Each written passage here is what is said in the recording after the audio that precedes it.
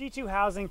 has been designed to be, of course, airtight and watertight, but also very important to be non-corrosive or won't oxidize in salt water or in industrial type environments.